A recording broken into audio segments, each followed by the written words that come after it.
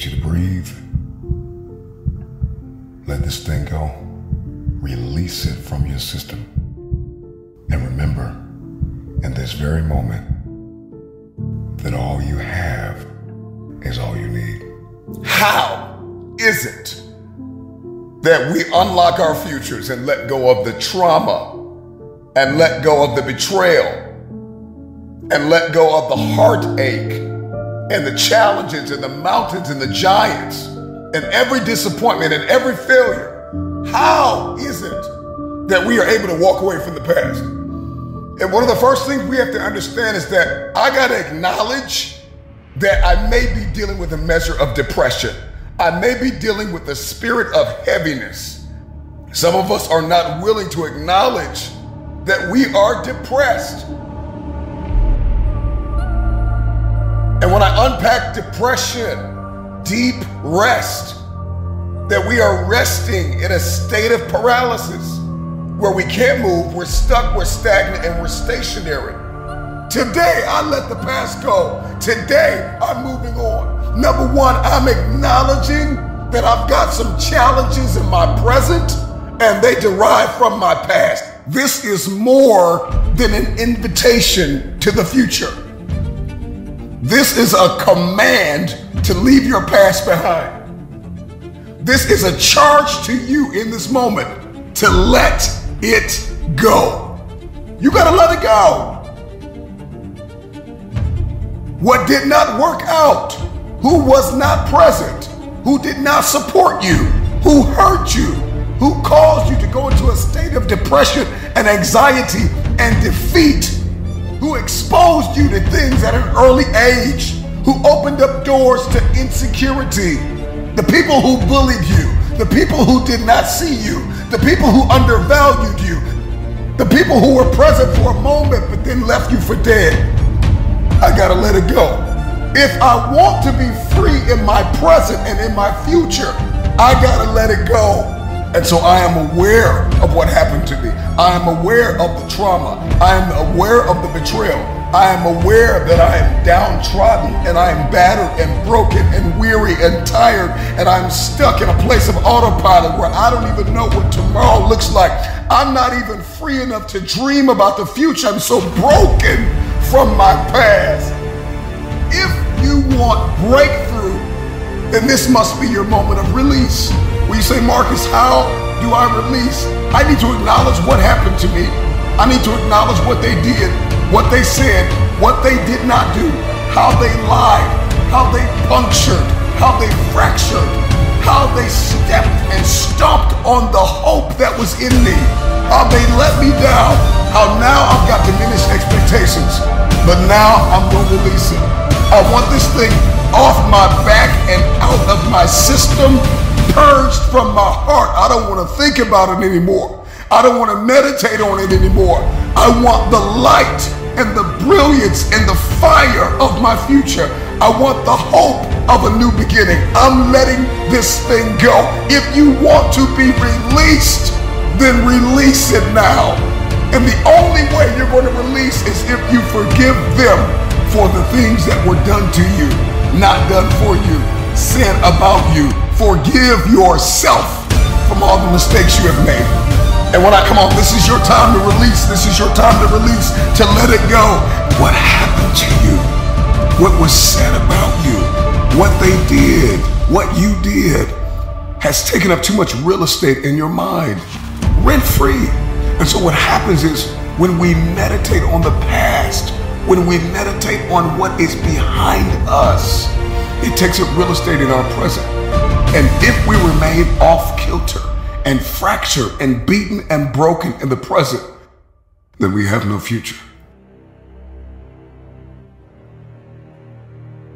And so, one of the next things you're going to have to do is that once you're aware of this state, that you are stuck and stationary and that you live a stagnant type of lifestyle.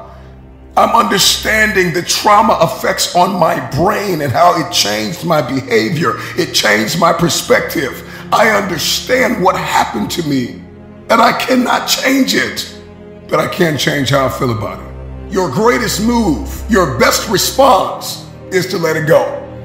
It is to set your ego and your pride aside for the sake of your future. Just forgive them. Let it go. Release from your spirit.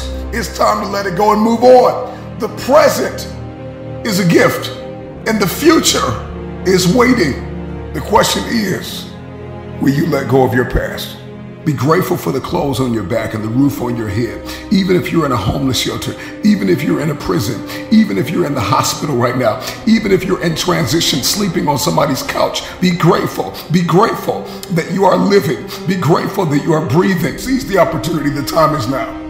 There are far, far better things ahead than anything we have left behind. In order for us to have a new beginning, there must be an ending. And we've got to be okay with entrances and exits, beginnings and endings. Many of you, most of you, desire, long for a new beginning. To begin again, before you were hurt, to feel again, to cry tears of joy. The you before you were exposed at an early age, the you before you had to grow up too soon, the you before the loss, the you before the death of a loved one, the you before you were fired, the you before you were hurt, the you before they left you, the you before they abandoned you. Who were you before you were hurt? What if you could go back to the very moment you were hurt, you were let down, they left you, you lost them, and you can be that person again. And you can grow from that place. This is where we should desire to be. This is the gift and the power of the present and the fire of the future. Every moment wasted looking back keeps us from moving forward. Stop wasting your precious present moments. You're going to have to normalize not holding a grudge. You're going to have to normalize not hating people that hurt you. You're going to have to normalize forgiveness. Evaluate your circle of influence. Be grateful for the people you have now. Sometimes the hardest part isn't that we can't let go of the past. It's the fact that we don't know how to begin again. And this is why we need forgiveness. And this is why we need healing. And this is why we need to release. And this is why we have to let it go. If you're listening to me and you're tired of living and you're ready to pull the trigger, you're ready to let it go, I just need you to know that hopelessness and depression is not stronger than the possibility of beginning again. The sufferings from your past and even the present moment is not worthy to be compared with the glory, come on, that shall be revealed in all of us. That revelation is my anchor to the ground and my hope for a future. And so this is why I can press toward the mark I can press toward the future. I can press for it. I can fight for it. I can build again. I can create again. I can believe again. I can forgive one more time. I can let it go. I can evolve. I can grow. This is my opportunity for metamorphosis and evolution. This is my opportunity for growth, for expansion. The more I release, the more I can become. And the more I become, the more I can attract. What is it that has not been attracted to you when I understand who I am and where I am? I position myself for attraction. This ain't about the law of attraction. This is about dealing with me first and the dream that God has given me and the purpose and everything else will be added. You are alive for a reason. I can choose to forgive. I can't choose to let go. I can't choose to believe. I can choose to dream. I choose to be free. Be not overcome by evil, but overcome evil with good. So forgive, release, and in some cases restore with a new title and a new assignment to punch through a bigger target. And so don't be so quick to amputate everybody out of your life that hurt you in your past. Because if an item can be repurposed, then so can a person. Whatever you can't let go of, whatever you can't get over, you have made it an idol. And it simply means that you love it or them more than you love yourself. The question I want to ask you is how bad do you want your future?